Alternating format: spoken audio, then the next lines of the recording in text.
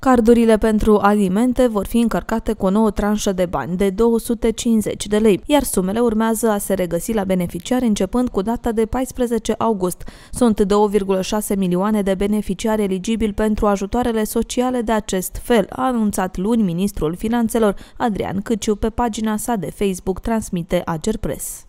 Beneficiarii acestui sprijin acordat de Guvernul României sunt persoanele, copii și adulți încadrate în grad de handicap grav, accentuat sau mediu, ale căror venituri lunare proprii realizate sunt mai mici sau egale cu 2000 de lei.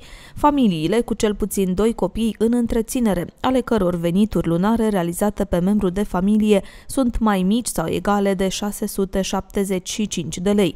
Familiile monoparentale, ale căror venituri lunare realizate pe membru de familie familie sunt mai mici sau egale cu 675 de lei. Familiile și persoanele singure care au stabilit dreptul la ajutor de incluziune, pensionarii sistemului public de pensii, ale căror venituri lunare realizate sunt mai mici sau egale cu 2000 de lei și persoanele fără adăpost.